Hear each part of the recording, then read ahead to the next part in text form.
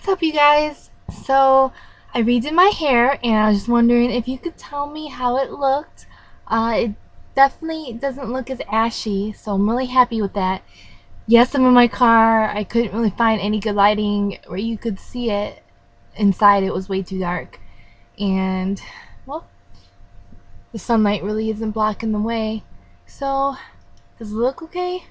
I mean I know you can still kind of see the pink but I couldn't get it out. What can you do? So, yeah. Does it suit me? Does it look good? Let me know what you guys think, okay? Thanks.